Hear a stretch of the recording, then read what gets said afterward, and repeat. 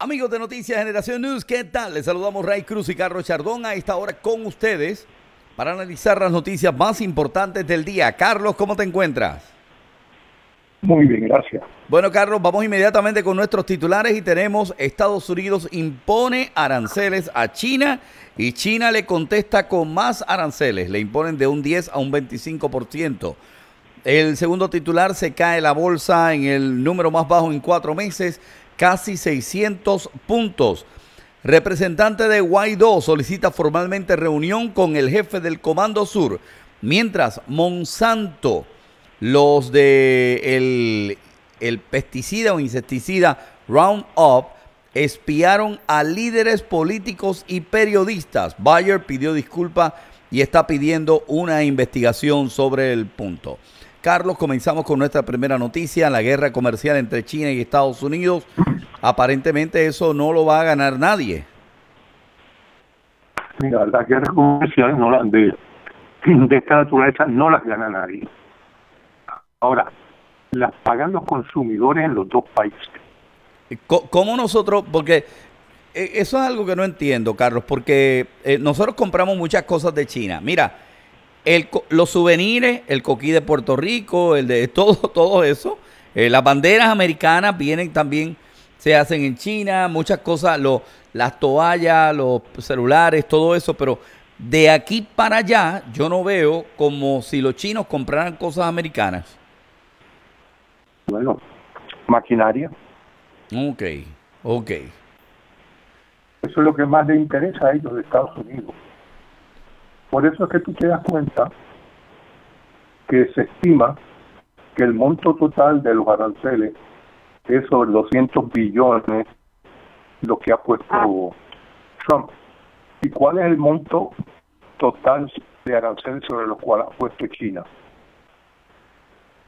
sobre 60, una tercera parte. Sí, una tercera parte. ¿Por qué? Porque no le conviene. Ok, o sea que hay, eh, eh, dicen como que esto sí, esto no. O sea, no, no voy, porque entonces afectaría su economía. Claro, y además acuérdate que la economía de los chinos es una economía sustentada por el Estado. apoyada por el Estado, mientras que la de Estados Unidos tiene apoyo indirecto, pero no es un apoyo directo como el de la China. Por consiguiente, afecta mucho más al Estado chino que a nosotros. Oh. número uno. Número dos, vamos a ver cuál es el efecto de los aranceles de Estados Unidos sobre la China. Okay. Si la gente en Estados Unidos, porque le han puesto un arancel de un 25%, decide no comprar ese producto. ¿Qué es lo que pasa? Ese producto no tiene mercado fuera del de América. O oh, entonces se quedaría, se quedarían con, se quedarían con todo ese producto. Esa es la realidad y eso es a lo que Trump está jugando. Nosotros importamos muchísimo más de la China de lo que la China importa de nosotros. Y Trump está jugando esa carta, pero no la dice. Por supuesto, esa la sabe todo el mundo, pero no la dice. Claro, lo, lo que pasa es que en un momento tú habías hablado, si más no recuerdo, del, del soya o sea... Bueno, también entonces los chinos le ponen, eh, cuando Estados Unidos pone aranceles, sí. pues afecta al productor de la soya. Cuando los chinos entonces pusieron aranceles, ¿dónde los pusieron? donde políticamente ellos esperaban afectar al presidente Trump en las últimas elecciones. Y no lo lograron. Y no lo lograron. Ok. O sea que eh, eh, es, por eso que... Los aranceles son un instrumento de guerra. Ok. Y eso es lo que se está jugando ahora mismo. Entre Estados Unidos una guerra una guerra, pues mira, con muy muy muy gentil, viciosa como toda la guerra. Y el que pierda simplemente queda reventado. Mientras tanto, los rehenes, ¿quiénes son los rehenes? El pueblo. Y la, y, y, la bolsa de valores que bajó 600 puntos. Correcto. Bueno, además, pero pero mira... La bolsa de valores estaba inflada de por sí. Sí, de hecho, eh, eh, ha sido el número más bajo en cuatro meses, así que, eh, pues, no, no lleva mucho, pero Dice también otra nota que el presidente de Estados Unidos, Donald Trump, ha afirmado que se reunirá con sus homólogos de China y Rusia, Xi Jinping y Vladimir Putin en el marco de la cumbre del G20 que se celebrará en Japón en junio. O sea, esto aguanta hasta junio, Carlos. Este junio primero entran los aranceles de la China en vigor. Ok. Estados Unidos ya empezaron lo que China ha puesto sobre productos americanos comienza el primero de junio. Así que aguanta perfectamente bien. Deben estar los chinos comprando a todo lo que da, todo lo que necesiten, las maquinarias y todo. Bueno, es que ellos esperan de que esto se resuelva y ellos saben que se va a resolver. Sí. El cómo es que se va a resolver es lo que todavía nosotros no sabemos. Exacto. Porque en este tipo de guerra no, no es un jueguito de niño, ¿eh? Eventualmente alguien sale herido. Sí. Y alguien sale muy mal.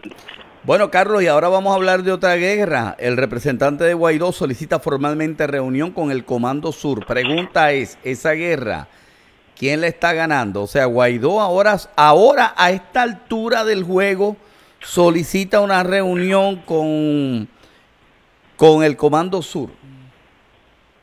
Mira, Guaidó, al adelantar el golpe que pretendía dar,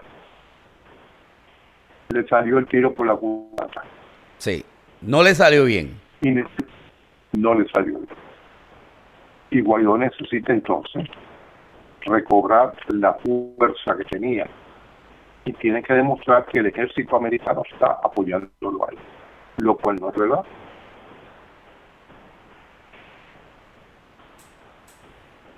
Claro. El ejército americano no va a apoyar a Guaidó solamente si lo meten preso o si lo matan. Sí. De hecho, eh, el Carlos Beccio publicó en su cuenta de Twitter una carta dirigida al jefe del Comando Sur, Greg Faller, en la que solicita una reunión para avanzar en la planificación estratégica y operativa con la finalidad de detener el sufrimiento del pueblo y restaurar la democracia. ¿Cómo el Comando Sur puede restaurar la democracia?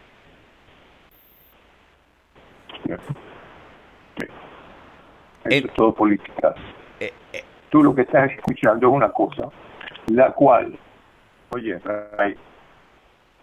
llevan reuniéndose hace, hace meses y meses. Esto es un golpe de relaciones públicas, lo que pretende dar Guaidó. Pero tú me vas a decir que Guaidó no lleva en contacto con el Comando Sur meses, meses. No fue el Comando Sur, directa o indirectamente, el que lo estaba apoyando. Mira, ahí esto es simplemente la necesidad política de Guaidó por un error que cometió y ahora tiene que buscar cómo subsanar.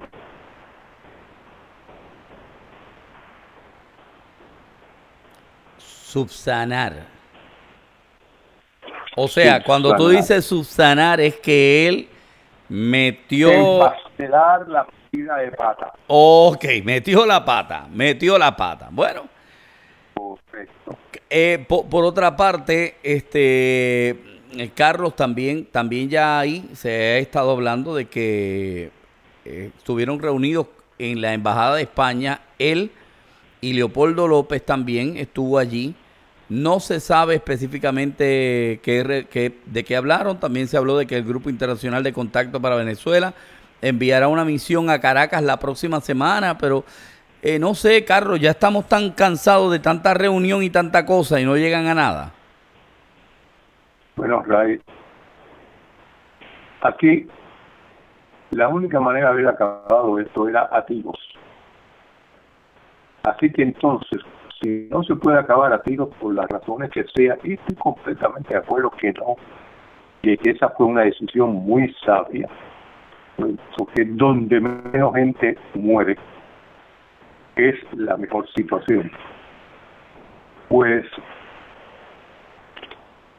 la reunión esta de Guaidó y de eh, López, oye, López se está quedando en la embajada española.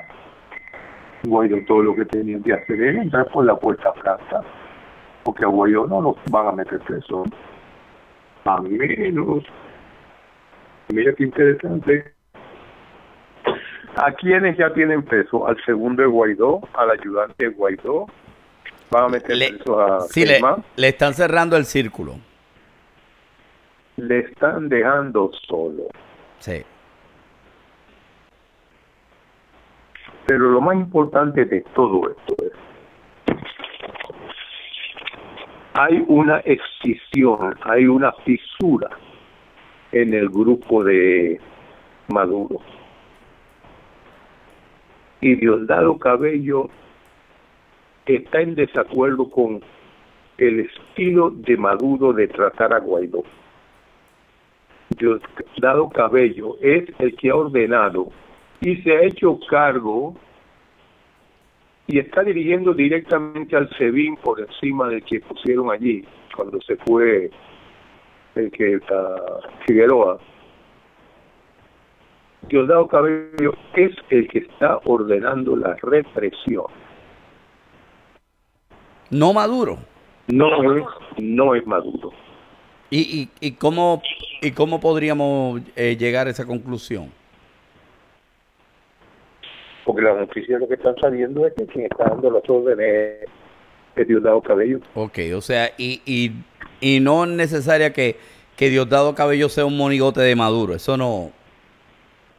No. Ok. Ahí el poder detrás del trono es el poder detrás del trono es, es Diosdado Cabello. ¿Sabes lo que pasa? Que Diosdado se dio cuenta